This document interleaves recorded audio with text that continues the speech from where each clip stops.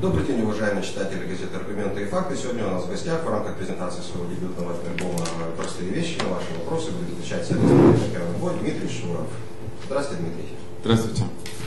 Начнем с вопросиков. Первый вопрос. Спрашивает Оля. Здравствуйте, Дима. Скажите, пожалуйста, не планируете ли вы записать еще одну совместную песню с группой Boombox?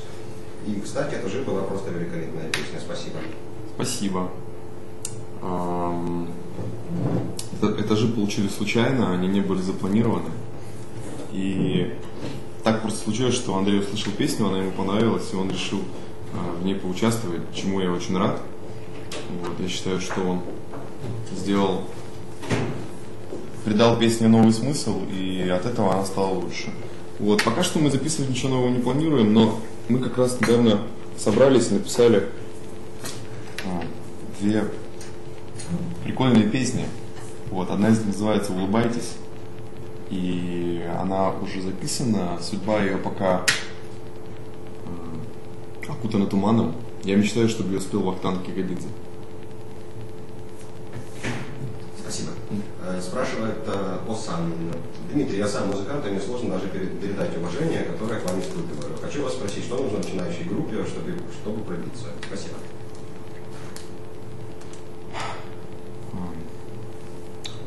Что нужно начинающей группе? Глаз. Слушай, я как прихожу, да, начинается. Мы просто сломали, сломали это на компьютер на одной прямой линии на слове жопа. А, так, что нужно начинающей группе, чтобы пробиться? А, нужно несколько вещей. Первое. Собрать волю в кулак и не лентяничать в момент написания песен. Если вы чувствуете, что приходит к вам песня, не откладывайте ее на завтра. Старайтесь, сколько бы это ни, ни отняло времени и сил, ее зафиксировать и делать до конца, потому что очень часто хорошая а, на завтра уже улетает. Вот. Во-вторых, найдите себе друга, соратника, который мог бы разделить с вами радость написания песен и с которым у вас был бы пинг-понг такой идей. Это очень важно. И потому что когда человек работает один, он передает только свои какие-то эмоции, ощущения, очень субъективно отражает все, что его окружает. А если человека два, то они в состоянии родить что-то третье. Такая очень подвижная формация. Если можете найти третьего, будет вообще хорошо. Треугольник это вообще отличная, отличный вариант для творчества. Вот. Но потом, когда вы уже вот все написали, записали достойно, причесались, э, оделись, вот. Вам очень важно найти людей, которые могли бы все это достойно как-то донести до людей. Вот. Пожалуй, что пока этих людей не будет, вам будет очень сложно. Вы можете сливать там свои песни в интернет, можете пойти в переход попеть, может кто-то вас и заметит. Но пока у вас не будет человека, который действительно поверит в вас, имею человека из, из именно дела, не, не музыканта, который захочет вот инвестировать в вас время, какое-то количество денег, возможно большое, возможно не очень, а вам будет самим непросто. Поэтому пишите песни, найдите друга, найдите партнера и вперед. Спасибо. А, спрашивает Ленка. Добрый день. Мне кажется, вы похожи на француза. Есть ли у вас французские корни? У меня нет французских корней, хотя никогда нельзя быть уверенным на все сто процентов. Но так случилось, что я очень рано приехал во Францию, в, по-моему, 9 лет это первый раз случилось. Я поехал с коллективом бальных танцев на гастроли. И там в конце каждого шоу я выходил в конце с гитаркой и пел Шон-Залезе Джо Сена. Вот. И французы там, конечно, падали от счастья, и они запомнили все это дело и позвали меня потом во Францию учиться после этих гастролей. Поэтому я почти каждый год, вот начиная с 9 лет, был во Франции. В лет 13 я поехал уже учиться в школу, потом в лицей. И в один прекрасный день вернулся из Франции а, кучерявым и с длинным носом. То есть это, собственно, реальная история. Мама говорит, что меня подменили инопланетяне. Потому что до этого, судя по детским фотографиям, у меня были абсолютно прямые волосы, нормальное украинское, такое круглое лицо. Вот. И, в общем-то, соответствующее, ну, как бы, все. Вот, а после Франции я вернулся каким-то немножко другим человеком. Говорят, что от вина французского, когда его много пьешь, кучеряются волосы. Правда ли это, я не знаю. Рекомендую попробовать. То есть уже так было много вина? Ну, было попробовано, да. Дело в том, что я во Франции жил. Вам, я просто вам не завидую, вам придется это все потом перепечатывать. Ответы получается длинные. Я во Франции попал в семью знаменитого во Франции баскетболиста, которого звали Жан-Ив Прево. Можете посмотреть, это чемпион Франции, там, Европы. А, и э, он был страшным коллекционером вин. Мы с ним ездили на машине по всей Европе, покупали редкие вина складывали ему там погребочек такой секретный. И везде я участвовал в дегустациях в этом возрасте, так что было, было замечательно. Спасибо. Спрашивает Ванька, смотрите ли вы телевизор? Если да, то какие передачи? Я по телевизору смотрю только одну передачу, сериал «Коломбо». Вот, есть один канал, который его транслирует. Я очень люблю сериал «Коломбо», потому что э, ну, это такое, как борьба ну, для меня это как, э, ну, вот сравнить клуб Реал Мадрид и клуб, э, клуб Барселона. Барселона пропагандирует очень такой демократичный образ жизни и правильное отношение к фенам, э, скромность, там, а, ключевые игроки живут со своими семьями в небольших домах, якобы, не знаю, правда ли это. Вот Реал же пропагандирует наоборот. Дыщ, они тратят очень много денег на игроков, там а, главные звезды этого клуба а, ведут себя как снобы. Вот для меня Коломбо это вот, вот это такое столкновение двух миров. Там всегда действие происходит в очень богатом каком-то обществе, в которое вторгается этот Коломбо, который вечно на старой машине, в древнем помятом плаще, э, со своим единственным глазом косящим. Вот. И он играет дурачка, а потом их всех в конце э, разоблачает. Поэтому я люблю очень смотреть, как это происходит. Это всегда забавно. Так же забавно, как смотреть, как Барселона раз за разом обыгрывает Реал. Э, заодно мы ответили на следующий вопрос э, насчет любимого вашего фильма, да? Э, нет, ну фильмов-то много. Пожалуй, фильм, а, если выбирать какой-то один любимый, это очень сложно, но, наверное, это будет фильм а, «Поющие под дождем» Singing in Rain с Джимом Келли в главной роли. Это мюзикл, по-моему, 52 -го года, если я не ошибаюсь, культовый, знаменитый. Кстати, фильм, который вышел недавно, фильм «Артист», который собрал недавно кучу наград, не мой, черно-белый французский фильм. Это не все это замечают, не все знают об этом, но точная калька этого фильма «Поющие под дождем». Там рассказывается абсолютно такая же история. Актер это Азанавичус, не Азанавичус, это режиссер. Актер, который играет в артисте, один в один Джин Келли того времени, и это вообще полная, полный ремейк. Поэтому меня очень забавляет, как все сейчас вцепились в этот фильм, как будто это прорыв какой-то, не знаю, в кино. Хотя это точная копия знаменитого фильма 52 года. Спасибо. Э, Алексей из города Москвы задает сразу три вопроса. Первый. Дебютный альбом «Пианобой. Простые вещи» или «Простые вещи» выйдет на CD или на каких-то других носителях и на каком лейбле? Альбом выходит в Украине на э, лейбле Lavina Music. В России выходит... В России его издает компания Monolith Records. А вообще продвижением альбома занимается компания «Музыка для масс» во главе с Алексеем Сагамоновым, который, собственно, э, сейчас возглавляет все дела, связанные с релизом альбома «Простые вещи» и вообще с деятельностью пианобой. Альбом вышел, если это можно так назвать, в виде сайта 21 мая. Сайт называется pianoboy.com.ua. На нем есть огромное количество картинок, превьюшек. Я там рассказываю о песнях, можно окунуться в атмосферу. И э, сейчас он выходит на физическом диске. Собственно, вчера мы забрали тираж, и с завтрашнего дня, 1 июня, а, диск начинает рассылаться всем, кто его предзаказал 21 мая и вот до, до этого момента, и отправляется в магазины. Вот. А также альбом будет выходить в цифровом формате, его можно будет скачать с сайта pianoboy.com.ua и там, с других сайтов, которые торгуют музыкой в цифровом формате. Еще к альбому у нас выходит потрясающий... А, я надеюсь, что выйдет приложение для смартфонов, по крайней мере, мне пообещали. Я думаю, это было бы круто. Включаешь, а там сразу дыщ, все сразу в этом стиле картинки, сногсшибательное это пианино. В общем, было бы здорово. И к альбому у нас выходит также потрясающая книга нот и фотографий размером А4, там, по-моему, 68 страниц, где есть не только мелодия и слова, как это часто бывает в нотах, но есть пианинные партии, есть человек может сесть их сыграть за пианино.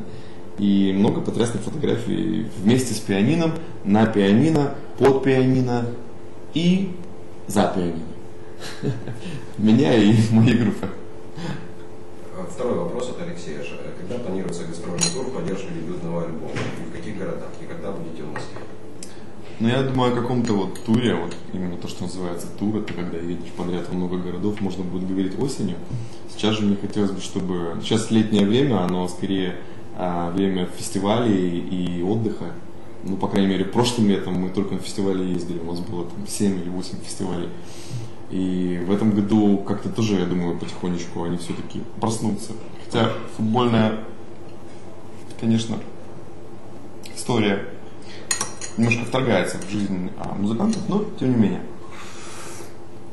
Что касается а, концертов, то мне хотелось бы, чтобы вот летом люди все-таки послушали альбом, а осенью мы уже к вам приедем и будем вместе его петь. Третий вопрос. Планируется ли участие в гастрольном туре юного талантливого музыканта Льва Шурова? А, в этом году пока не планируется, потому что у него очень э, сложные графики. Во-первых, он учится в школе и одновременно учится в музыкальной школе. Во-вторых, он записывает свой детский рок-альбом, который мы с ним вместе написали. И, собственно, в июне мы планируем презентовать в интернете первую песню, которая называется «Песня про Крым». Вот. То есть э, пока что он занимается, занимается сольной карьерой. Спасибо. Спрашивает Нюра. Дима, привет. Он, кстати, я пардон, я скажу, он, кстати, говорит мне, папа, у меня, а, вот у тебя вышел альбом, у меня тоже выйдет в, в конце июня альбом. Я говорю, погоди, ну как альбом? Надо сначала записать, надо, надо все подготовить, придумать. Он говорит, нет, я у тебя там диски видел, такие лежат на столике, чтобы нарезать.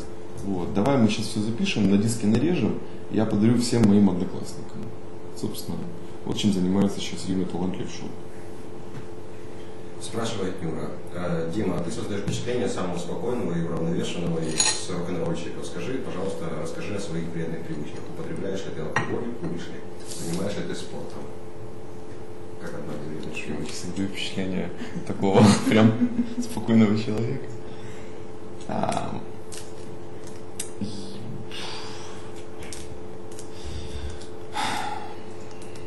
как вопрос начинался? Расскажи о своих вредных привычках. Вредных привычках. А, наверное, самая вредная моя привычка это а, ну, у меня есть потребность все время находиться в каком-то таком конфликтном состоянии. А, я не могу просто сидеть на диване и наслаждаться жизнью. Вот, поэтому я все время придумываю себе какие-то приключения на свою голову. И иногда они заканчиваются не очень хорошо. Вот. Иногда я не помню, что, что делал предыдущим вечером. Как правило, если мы куда-то едем, и первый час я слушаю музыку в автобусе, вот, второй час уже а, общаюсь, вот, а с третьего часа, вот, Маша не даст соврать, а, уже хочется а, какие-то вредные привычки применить. Какие, я рассказывать не буду. Вообще, что такое вредная привычка? Вот вредная привычка пить кофе. Если человек с утра встает и не может уже без кофе, то это вредная привычка тоже. С другой стороны, иногда почитаешь какого-нибудь там Мураками и думаешь, блин, вредная привычка это так круто. Сесть, выпить кофе, покурить сигарету, принять ванну, а потом, как Черчилль, еще раз принять ванну. И так вся жизнь сплошная вредная привычка. Хорошо все. Спасибо. Спрашивает Виктория. Дмитрий, добрый день. Что сподвигло, сподвигло заниматься вас сольным творчеством? Сольным? Это которое солят, что ли? Что такое сольное творчество? А, ну, в любом случае, я не занимаюсь сольно. Я же не, не сижу один на сцене. Э, у меня есть команда, есть группа, есть э, друзья, которым я показываю песни. Ну, не знаю, просто так случилось, что я сразу попал в группу в очень юном возрасте потом создал еще одну группу, но и в итоге пришел к тому, что я занимаюсь тем, что называется пианобой. Это, наверное, ну, действительно не совсем группа, а скорее реинкарнация моя как музыканта. А, что сподвигло, не знаю. Не знаю. Но тем не менее, я не могу сказать, что занимаюсь этим сольно. У меня есть там коллеги. Вот недавно ко мне зашел мой коллега Коля Костенев, буквально позавчера. Вот, и мы с ним придумали потрясающий риф из контрабаса и пианино. А, текст, который я сразу напел, получился, получилась песня об узбекском ресторане. Вот. А если бы я писал сам, я опять писал бы о каких-то сигаретах и так далее. Спасибо. Спрашивает Екатерина, как пришла идея сделать такое интересное пианино? А, вы имеете в виду то, которое на обложке? А, я носился с идеей а, создания межгалактического пианино, которое олицетворяло бы человеческую судьбу. Часто заходишь в какой-нибудь старенький барчик в Лондоне или, например, в Ужгороде, вот, и видишь, стоит инструмент, там справа кто-то положил сигарету, и она прожгла. Слева кто-то написал, здесь был, я не знаю, Чиккария. И пианино, оно прям источает такую мощную атмосферу. Вот. Мне хотелось создать такое пианино с замечательной художницей, которую зовут Леся Патока. Вот. Мы нашли старое пианино Украина, привезли в мастерскую, и я собрал около 130, около 138 предметов – среди которых а, трубка, подзорная труба, а, торт Наполеон, а, один из моих кедов, бок Шива, пластинки всякие, голое женское тело. все, что так или иначе звучит в альбоме в разных песнях и окружает меня и моих близких. Вот, и она сделала потрясающее такое вот пианино, которое вы можете видеть на сайте pianoboy.ua, на обложке альбома, а, пока что живем его может видеть только Леся, но когда-нибудь мы сделаем, я думаю, какой-то с ним концерт. Вот, так что получилось так красиво, что мы решили не скромничать и сделали клип о нем, где все предметы оживают и со звуками музыки сливаются в феерическом танце. А как долго работали над дизайном? На дизайне чего? А, ну, там если художникам давать долго работать, то они начинают думать, что это их произведение, и это может занять годы. Вот, поэтому мы все сделали очень быстро, буквально за неделю они его сделали, и это очень круто, потому что хорошее делается быстро. Хорошая песня пишется быстро, мне кажется, хорошая картина рисуется быстро. Вот они это пианино сделали буквально за неделю. Хотя оно выглядит так, как будто оно стояло где-то и вбирало в себя судьбу сразу нескольких людей. В общем, я доволен тем, что получилось. Я не ожидал, что э, идею можно так круто реализовать. Поэтому мы, конечно, будем еще работать с Лесей и, и, и, и работаем, собственно. Например, у нас был конкурс э, совместный с Просто Радио, который назывался «День простых вещей», когда, в котором каждый час звучала песня «Простые вещи», и один из раз она звучала специально, измененная, я там поменял ее. И человек, который первый ее услышит, он вот, собственно, уже известен победитель, он, эта девушка из Ставрополя, она получит э, уменьшенную копию этого пианино, маленькую, которую мы называем пиано бэйби, которую тоже делает Леся. Спрашивает Ася. Дима, здравствуйте. В вашем клипе «Простые вещи» снимается забавная такса. Это ваш домашний любимец? Нет, у меня сейчас нет домашних любимцев, все передохли. Это такса, которую зовут Ракета. Вот, ее специально для съемок наняли, потому что это самая умная такса в нашей стране.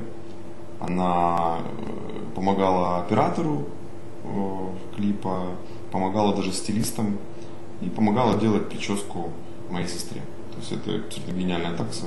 Когда ей нужно было сыграть роль, которую ей там отвели, она ужасно плевалась, говорила, что мне ерунду какую-то предлагает. Вот так. Спасибо. Э, спрашивает Сергей Васильев, слушаете ли вы классику и какой ваш любимый композитор?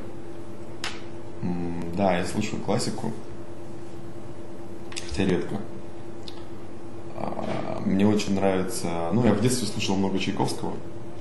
Сейчас я слушаю чаще э, Стравинского, Равеля.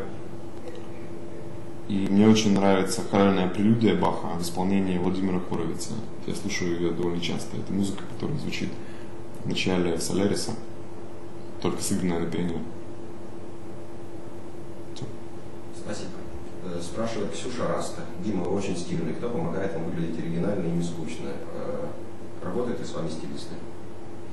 Столько стилистов, иногда просто шаг вступить не могу. Вот, э, вот Мария Сагамонова, наш турменеджер, она стилист. Оля Шурова, моя девушка, стилист. Э, сын мой иногда говорит, папа, что ты оделся как клоун? Вот и он стилист. Леся Патока сделала а, прекрасный гольф, такой черный, который в клипе. В общем, с миру по нитке пенопою одежда. На самом деле так и есть. У меня есть брюки от Алены Ахмадулиной, с которой я работаю. Ну, не одни, несколько пар брюк, естественно, с которой я работаю в, по, ну, по модным показам в России и во Франции. Кстати, одни из брюк черных, которые она мне подарила, погрызла крыса. У меня была крыса, только сдохла, Варвара снималась, кстати, в клипе «Ведьма». А, она погрызла сзади, сзади брюки, они лежали в шкафу. И я когда одеваю их, меня всегда спрашивают, какие, кто придумал такой крутой дизайн, вот эти дырочки. Вот даже Слайк Вакарчук, мы с ним собирались на репетицию, и он говорит, блин, скажи, кто такие крутые брюки тебе сделал? Я говорю, ну крыса погрызла. Все думал, что я дурака валяю, никто не верит. Вот. Ну, Рената Литвинова подарила мне котелок очень красивый, столетний.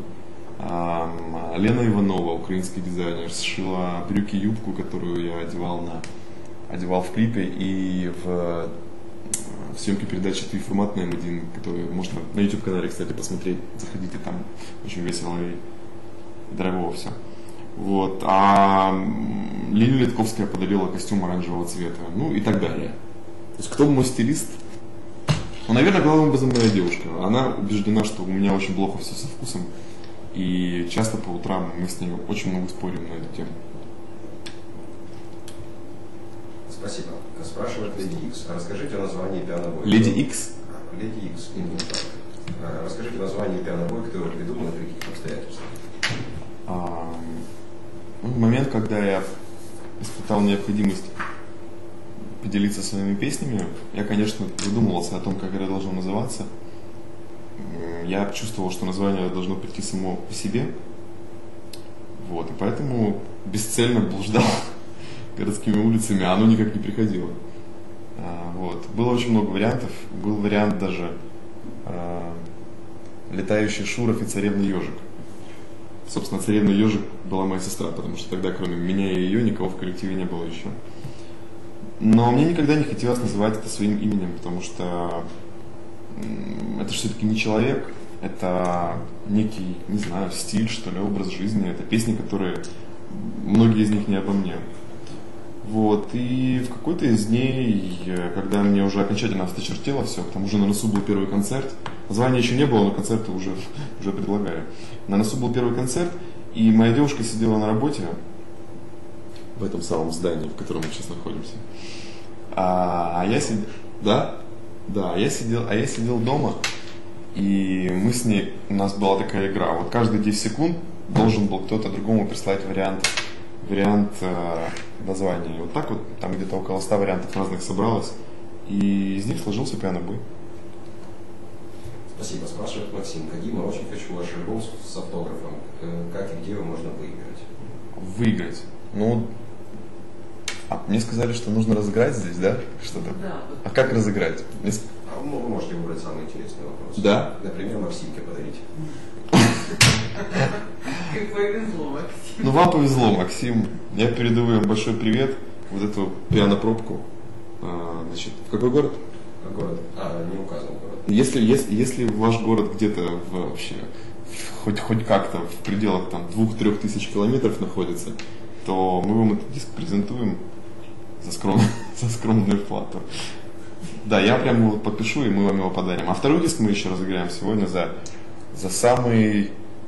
За... Получит диск человек, который задаст мне вопрос, который мне никогда не задавали. Вот. То есть.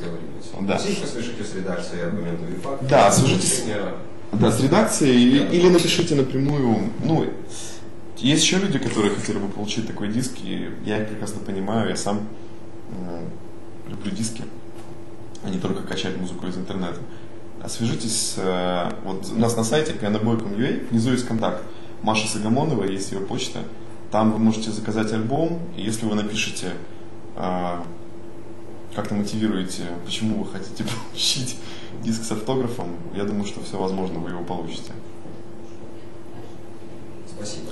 На- на- напишите, напишите, не знаю, напишите стихотворение из трех строчек о действующем президенте а, Нигерии, и вы получите диск с автографом.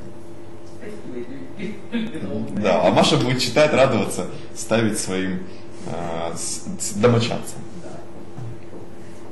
Спрашивает Лоло, каких украинских и российских музыкантов слушаете в машине?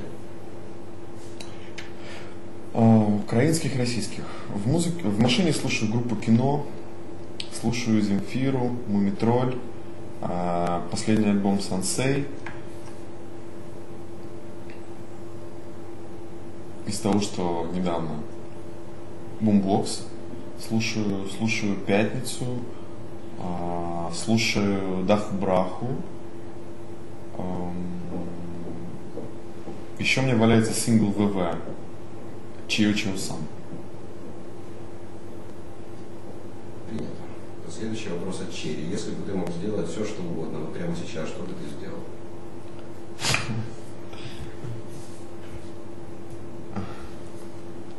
Нельзя быть настолько честным.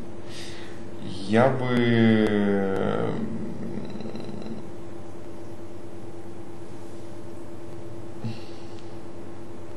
Запустил бы этой пробкой в стену. Мечты забываются. Да. Спрашивает Стефани. Приветствую вас, Дмитрий. Как настроение? Скажите, кто вдохновляет вас на такие светлые, красивые, добрые песни? Музыку и тексты. Ну, просто в жизни так много говна, что э, вот в песне хочется влить весь свет, который есть внутри. Потому что это проще. А, вот ты хочешь сделать что-то хорошее окружающему миру. Делаешь, делаешь, делаешь, делаешь, никто это не замечает. Повесишь, повесишь веночек на Рождество в подъезде, и вот так его сопрут. Ну, я не знаю, и так далее. Вот. А с песнями проще. Ты вкладываешь туда вот искреннюю, безапелляционную, открытую, свободную любовь, которая в тебе существует, и отсылаешь ее. И вот она доходит до тех, кому это нужно, и через них делает мир лучше. Поэтому песни такие светлые бывают. Ну, Бывают темные, конечно, но темные в альбом «Простые вещи» не вошли. Так что песни это, это м, песни пианобоя это его способ э, борьбы с темной стороной силы. Мы, кстати, недавно сидели а, вот как раз с Андреем Клавником и обсуждали тот момент, что такое ощущение, что никому не, нужна, не нужна светлая музыка. Такой странный какой-то парадокс. Вот, все, все так как-то кивают, говорят, так классно, прикольно, ну, ну как-то хочется, ну, ни к чему придраться. Ну, хочется как-то, чтобы обосрать можно было. Вот. Мало конфликта. Не знаю, почему так происходит. Спрашивает Ксюшенька. Дмитрий, вы когда-нибудь посоветовали, вы когда-то посоветовали всем дерзновенным книгу Марка Левина «The Jazz Piano Book». А посоветуйте еще чего-нибудь хорошего. Спасибо. Дерзновенные это те, кто хотят научиться играть на пианино, Очевидно, да. наверное, да?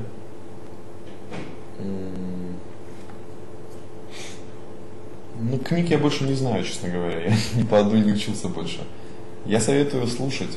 И если вам что-то нравится, вот вы сразу стараетесь это повторить, а, то есть снимите там какую-то партию. Например, я от Элтон Элтона Джона много слушал в детстве. Я слушаю, как он играет аккорды, мне очень нравится.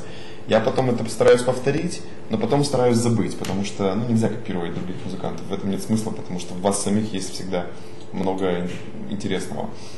Вот, поэтому советую, вот как ребенок, который учится плавать, э, нащупывать постоянно и запоминать правильное ощущение, ощущение правильности. Вот вы почувствовали, что вот это круто, хорошо, запомните это и идите дальше.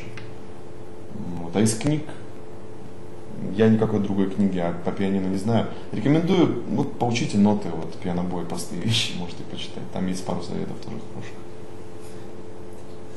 Э, Дима, а есть ли у вас филологическое образование? Есть, но оно не окончено. У меня есть врожденное филологическое образование. Если я вижу, что человек ставит не там запятую, у меня начинает давление сразу повышаться. Моя- Как? А? Как реагируете? Но если я очень этого человека люблю, то никак не реагирую. Но если он не, если я его не знаю, то а, переписку с ним прекращаю. Так вот. Моя девушка, которая, я, конечно, шучу про запятые, я, име- я имею в виду гораздо более жесткие вещи. Есть люди, которые вообще как-то поразительно выражают свои мысли.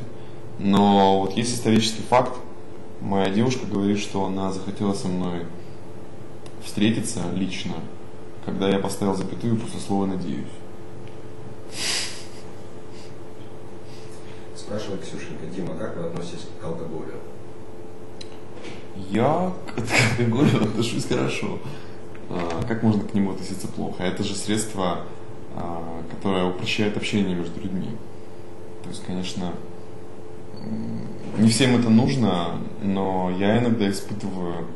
Ну, грубо говоря, есть люди, с которыми общаться легко и хочется, а есть люди, люди, с которыми общаться вообще не хочется, но надо. Вот. И в большинстве случаев с ними не общаешься, но иногда это просто необходимо. Ну, это знаете, как в фильме «Осенний марафон», когда идет по коридору этот начальник его, я забыл как, и все время ему пытается протянуть руку, а этот не хочет ее пожимать, все равно пожимает, отворачивает. То есть, как ни крути, а иногда приходится общаться с теми, с кем общаться не хочется. И вот перед этим лучше, лучше просто выпить, и будет легче. Вот. Алкоголь в этом плане очень хорошее средство. Я очень люблю алкоголь крепкий. А, Мне нравится текила, особенно патрон. Вот Этим мне очень нравилось в Брюсселе. В Брюсселе есть в центре города специализированные бары. Есть пивной бар, есть винный, есть текильный, есть виски-бар. То есть это место, где все возможные виды одного напитка. Вот, и ты приходишь туда, проводишь там вечер, пробуешь абсолютно разные какие-то виды текилы, потом разные виды абсента. Был абсент-бар. Представляете, 100 видов абсента разных. И все за вечер попробовали. Все не попробовал, но вот, кстати, а текила хорошая, ее же выпить можно очень много, и все будет, все будет нормально. Вот там был вечер, когда мы вот с Сережей Бабкиным так припорядочно накликались. Что я, по-моему, уже перешел на личности. Давайте дальше. Без приключений обошлось. Нет, конечно.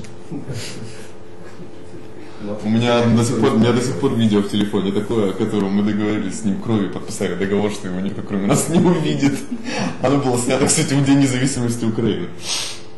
Это была такая полная независимость. Не только от Украины, а от, от всего остального. От жен. Да, Всего сущего. от всего, в общем, точка. Спрашивает Ксюшенька, Дима, как вы думаете, любви все возрасты покорны? А, все возрасты покорны любви, но не все люди покорны любви. Есть люди, которые уже в 15 лет любить разучились, а есть, которые там, в 70 только начинают. Спрашивает Тиффани, э, Дмитрий, здравствуйте. Хочу поздравить вас с выходом альбома. Скажите, на Спасибо. что вы обращаете внимание при первой встрече с незнакомым человеком? И что может вас расположить с первых секунд? Хорошая шутка. Мне кажется, любого человека может расположить хорошая шутка. Часто бывает так, что встречаешься с э, какой-нибудь знаменитостью, и э, вот ну, сразу к нему, видишь, чувствуешь, как люди сразу к нему испытывают такой пиетет. Вот. И очень важно, чтобы такой человек умел, ну, как мне кажется, очень важно, чтобы он умел такой очень правильной шуткой в нужный момент их расслабить, иначе просто общение не получится. Нужно как-то, мне кажется, уравнивать, уравнивать ситуацию. Вообще обращаю внимание на глаза в первую очередь. Как правило, по глазам все, все становится понятно, особенно в случае, в случае с девушками. Вот. Если глаза блестят, с такими людьми можно общаться. И не от слез. Так просто по жизни. Просто. Ну, а потом смотрю ниже уже там дальше. И ниже, и потом еще ниже. Вот, и еще ниже. Так низко, как может пасть моя вообще, моя мысль. Э, Спрашивает Лёля, вернее, задает вопрос о любимом фильме, но так как уже был, здесь есть уточнение. Такое, Могу еще какой любимый фильм назвать? Пересматривать снова и снова и знать все диалоги наизусть. Ам, ну, это, во-первых, Шерлок Холмс советский. Вот там действительно я знаю абсолютно все диалоги наизусть. Меня подними ночью, я отвечу на любой вопрос. Ну, пожалуй, вот несколько фильмов Тима Бартона я очень люблю. «Сонная лощина». Новый фильм «Мрачные тени», кстати, тоже отлично рекомендую. Хотя он как ни крути, но скатывается в пучину иронии и цинизма с возрастом, но все равно интересно. Вот. И, пожалуй, что а, в котором знаешь все диалоги. Ну, Сансет Боливар, пожалуй. Оксана спрашивает следующее. У вас не совсем общественный формат, хотя и музыка хорошая. Как вы думаете, легко ли вы, вам будет завоевать массы своим творчеством? Общественный формат звучит как общественный туалет. Да, у нас не общественный туалет, у нас туалет такой. Пока что для избранных. Хотя а, я уверен, что это вопрос времени. Ну, по крайней мере, с большинством моих любимых музыкантов, а, ну, первый альбом, он как-то заявляет все-таки артиста с эмоциональной точки зрения. Второй направляет какой-то стиль, а третий а, уже, ну, действительно прорубает какое-то окно. Так было и с группами всеми, в которые я играл до этого, поэтому я не знаю, что сказать по поводу общественного стиля или как общественного формата. А, я, мое дело писать музыку. А, дело моих коллег доносить ее до людей. А, сколько, сколько людей сигнал поймает, столько, настолько и будет общественным, широко, точнее массовым проект Мне кажется, вообще, так, чтобы закончить мысль, сейчас, мне кажется, довольно благоприятное время для такой пианинной рок-музыки, по крайней мере, у меня такое ощущение. Мне лично надоели гитарные группы. Вот мы получали премию «Чартовой дюжины» в России в марте. И мы были единственные без гитар... Ну, кроме мальчика, который на, на аккордеоне играл. Мы были единственной без гитарной группой из 22 коллективов. Вот, и э, я думаю, что таких групп, как мы, будет больше. Спасибо. Спрашивает критическа, что вам нужно для того, чтобы... Критическа? Критическа именно. Что вам нужно для того, чтобы чувствовать себя счастливым? Кроме алкоголя. Кроме алкоголя и диски. А, алкоголь не, не делает меня счастливым. От алкоголя иногда наоборот можно так вообще расстроиться, как, как иногда трезвым не, не бывает. Но... Не спрашивали, добавили. А, это вы от себя добавили? Ну что ж, тогда и мы от себя что-нибудь добавим. Э, для ощущения счастья нужно, чтобы э, нужно, чтобы отключился мозг, наверное, в первую очередь. Мне кажется, что невозможно сфабриковать себе счастье. Его можно только испытать. И оно как-то напрыгивает внезапно. Ну, как, не знаю, как, э, как малярия, в общем съездил в Марокко, все было хорошо, вернулся через две недели, дыш, малярия началась. Мне кажется, так и счастье. Его не ждешь, не ждешь, а оно приходит. Оно случается тогда, когда его не ждешь. Но это если воспринимать счастье не как а, попил воды и съел бутерброд с икрой, и ты счастлив. А счастье, когда вот такое тепло от коленей поднимается и по спине мурашки. Что не знаю. Наверное, нужно отключить свой мозг, чтобы быть счастливым. Спасибо. Счастливым, счастливым дебилом. Быть счастливым психом. Блин, это я сказал. Ладно, давайте дальше. Не вырежем. Э, спрашивает Лора, бывают ли у вас творческие кризисы, как из них можно выйти и что вдохновляет вас на творчество?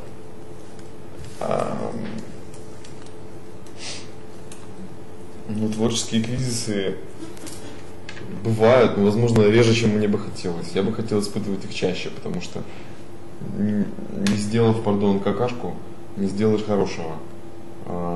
Очень часто как-то из, пол, из полной прострации, из внутренней пустоты рождаются самые интересные вещи. Вот, поэтому, если у меня нет кризисов, я, как правило, их себе придумываю. Сейчас, кстати, нет вообще кризиса. Вот, пора бы уже, наверное, придумать. Вышел альбом, я пишу второй, песни пишутся просто, не знаю, как у Ленина Маккартни, ни дня без песни. Думаю, что где-то к концу июня я войду, в, войду в творческий кризис. А, вот. Меня сейчас очень вдохновляет а, сам воздух. Я чувствую в воздухе что-то такое, не знаю, какое-то есть элек- электричество. Вот меня оно вдохновляет. Вот, вот эта вот штучка, в которую я смотрю, такая маленькая, вот, она меня, меня вообще не вдохновляет. Мне бы хотелось, чтобы ее уже поскорее выключили. Нет. Нет. Допрос продолжается. Э, Кстати, да, похоже, реально похоже на вопрос. Прожектора не хватает. Александр спрашивает, спасибо за клип «Простые вещи», пианино вообще отпад, а, а в чем проявляется, кроме написания музыки, ваша творческая натура? Возможно, вы пишете прозу, рисуете картины, дизайните одежду. Еще вы плескиваетесь? Ну, как я уже рассказал, моя крыса, покойная, к сожалению. Вот. Я... Какие творческие проявления, да? Знаете, их практически нет. У меня музыка так как-то все плотно занимает. Я же просто в музыке делаю очень много. Не только занимаюсь пианобоем, я пишу для моды, пишу для кино, написал оперу. Вот, пожалуй, пожалуй, опера это было такое, такая большая была отдушина, потому что я там позволил себе все. Вот. э,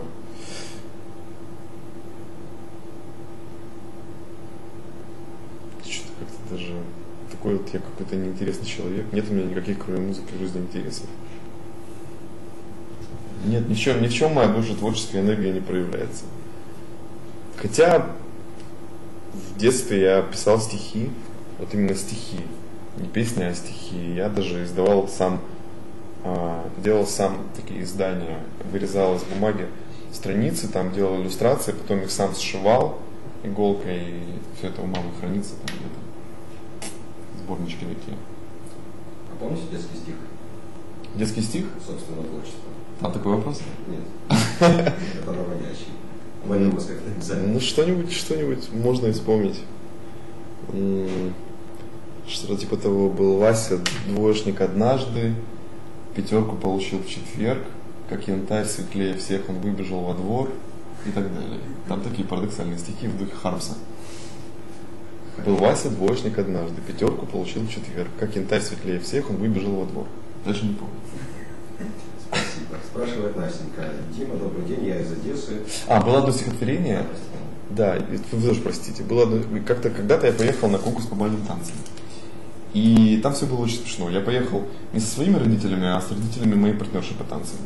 И они сняли потрясающую квартиру, а, в которой почему-то я спал в кухне под холодильником. Холодильник был, знаете, такой еще такой советский, как же, ну не, не Днепр, а просто Днепр. Ну Днепр такой советский, такой, который вот так вдруг начинает делать. Вот, и меня всю ночь не спалось, и я написал какое-то очень мрачное такое депрессивное стихотворение, что-то там, и, и очень темным лес я вижу, хоть он достаточно зелен, и что-то там куда-то ходят, да. В общем, такое, да, мрачняк. А в это время в соседней комнате мою партнершу по танцам, которая страшно перепсиховала, отогревали утюгами. Я знаю, все это звучит как абсурд, но это, это мое детство, тем не менее. Э, Где можно купить ваш альбом и когда он появится в продаже? Альбом завтрашнего дня рассылается всем, кто его предзаказал, и завтра же он уезжает в магазин. Мне уже звонили из Днепропетровска, из магазина Джем, сказали, мы тут уже, в общем, все готовы продавать, у нас тут, в общем, в Днепропетровске до сих пор слушают диски, чему я был немало рад и удивился. Так что ждите. Если вы в России, то это скорее вопрос э, к тем, кто издает диск в России, но я, насколько знаю, он выходит одновременно и тоже где-то будет скоро там. Но самый верный способ, повторюсь, самый верный способ, заходите на сайт penoboy.com.ua, пишите вот Маше Сагамоновой. Сагамоновой. Да. Сейчас не сфокусировалась. Не сфокусировалась, да. Вот этой прекрасной девушке в оранжевом одеянии. И она лично отправит вам диск. Если вы напишите, если вы ее очень похвалите, еще и с автографом. Ну, Машину, естественно. Эм, Ключ- Ключник спрашивает, какой вопрос вы так для себя не смогли? Я чувствую, это, это претендент на второй диск. Тут надо помедитировать, чтобы ответить на такое. А, почему никто не обращает внимания на то, что в альбоме есть матерное слово? Вот этот вопрос не дает мне покоя. В песне номер 6 на в конце первой минуты есть, есть матерное слово, а никто его не замечает. Я не понимаю, неужели, неужели сейчас он уже как-то, эти слова уже настолько вошли в обиход, интернетами весь завален, и всем уже по барабану. Вот так. У вас, правда, нанимательное, что за слово? Ну, одно из производных слова хуй. Борис нас все-таки матерное. Пока еще. Хотя, ну, ребята, вы слыхали, как дает интервью? У него факт через слово. Он говорит, and I went to the fucking store, and I took the fucking CD, and I fucking listened to it in my fucking car. Так человек разговаривает? Ну, наверное, тоже так надо начинать хуями все выкладывать, и все будет хорошо. Вот интернет хороший, да? У меня, кстати, такая история была, я вам скажу вкратце. Раз уж у нас такое видео, э, видео история. Написал я песню, называется «Долбанный щелкунчик». И э, использовал ее в показе Алены Ахмадулиной в Москве. И вот не поверите, это наш с ней десятый показ, и всегда писали, что вот музыка, музыка, музыка, музыка такая вообще атмосферная атмосфера. А в этот раз в России пишут, причем на одном большом сайте, название которого я точно не помню, но это центральный сайт по поводу моды. Большой, кстати, им привет. Пишут следующее. Потрясающая атмосфера показа Алены Ахмадулиной, коллекции в стиле там, оперы «Щелкунчик» была напрочь начисто разрушена жаргонными словами, использованными в саундтреке. Эти слова, написал сайт, мы привести не можем. Поэтому вот ссылка. Там ссылка на Википедию, в которой написано слово «долбанный». И я, честно говоря, ну, от такого просто, я, я аж сел на стул. Я думаю, блин, весь интернет завален словами на три буквы, на пять букв, на шесть, на семь, и все производные. Но долбанный щелкунчик, это, знаете, теперь нельзя писать. Ну, вот такое маленькое лирическое отступление. Поэтому я не понимаю, почему у меня в альбоме слово э, из шестой песни никто не замечает. Надеюсь, что дети простят меня за это невинное, невинную шалость. Спасибо. Э, Дмитрий, опишите подробно ваш вчерашний день. Ну, честно говоря, это мне не очень интересно описывать мой вчерашний день. Мне, мне интереснее день сегодняшний, и даже он интереснее мне, чем день завтрашний. Вот то, что сегодня происходит, мне интереснее всего. А, вот. а сегодня я встал рано, достаточно. Сегодня день рождения у моей, у моей прекрасной девушки Ольги. Вот. И сегодняшний день поэтому в большой степени посвящен ей. Да. Как раз по поводу Ольги вопрос следующий от Алекса дослали совсем недавно. Приветствую вас, Дима. Скажите, как вы познакомились со своей нынешней женой Ольгой? Давайте следующий вопрос. Какие- Пусть хоть что-то останется между нами с ней. Вообще. А то я и так уже. Есть песня «Ведьма», послушайте, там про все поется. Хорошо, спрашивает Иван. Скажите, вы уже закончили написание своей оперы? Когда и как планируете ее презентовать? И спасибо вам за музыку, которую вы создаете. Спасибо. Мне так приятно, что все говорят спасибо, спасибо. И поздравляют с выходом альбома. Это такое ощущение, что у меня сын родился второй, или у меня сегодня день рождения. Я надеюсь, что все эти люди, которых этот релиз обрадовал, мы с ними встретимся и хорошенько это осенью отпразднуем на концертах. Об опере Ну, я нахожусь... Сейчас э, один человек в Киеве, такой большой специалист по нотам, переписывает ее всю на ноты, а, что нужно для того, чтобы люди, чтобы ее можно было поставить. Вот. И э, один из театральных вузов планирует поставить ее как э, произведение, программное произведение к концу э, учебного года. А, то есть студенты поставят ее, и после этого я посмотрю на это все, как это все выглядит, а не спою. Вот. Я думаю, это будет какая-то такая постановка из разряда постановок в кедах. И после этого было бы круто, конечно, поставить ее на большой сцене, потому что это очень такое лихое произведение, смесь, э, не знаю, Стравинского, Бьорк, э, рок-музыки, классической музыки, поп-музыки, много красивых мелодий, нетривиальная история. И думаю, что э, если пенобой не поглотит меня целиком, я в скорости эту оперу поставлю. Ну, там, в течение одного-двух лет.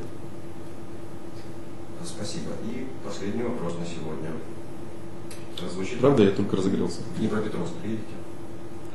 Конечно, приедем, обязательно. В Днепропетровске состоялся первый концерт пианобоя в истории. А, благодаря Днепропетровску во многом. а, ну, он дал сразу такой заряд позитива. Конечно, приедем, обязательно. Не знаю, правда, когда пока. Пока не знаю. Наверное, осенью все-таки. Такой вопрос, приедете ли в Днепропетровск, да? Приедем, обязательно приедем. Вот, Приглашайте да, приглашайте, соберитесь все на площади, поднимите транспаранты. Пианобой в Днепропетровск, пианобой в Днепропетровск. И мы приедем. Вот, так что увидимся обязательно. Спасибо за ответ. Уважаемые читатели, напоминаем, сегодня у нас в гостях был солист проекта «Пианобой» Дима Шура в рамках презентации дебютного альбома «Простые вещи». Спасибо всем за внимание. Дима. Да, спасибо. Я вам хочу пожелать напоследок, хотя меня и не просили ничего желать, а, чтобы вы а, занимались спортом. Вот сегодня такое пожелание. Занимайтесь спортом. Вот, и разным, и командами, и одиночным, и особенно греблей. Вот, удачи.